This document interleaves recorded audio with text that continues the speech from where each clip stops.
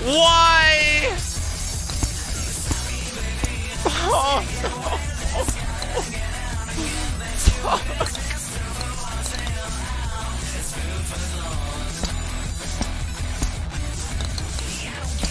I didn't mean to hit it that hard.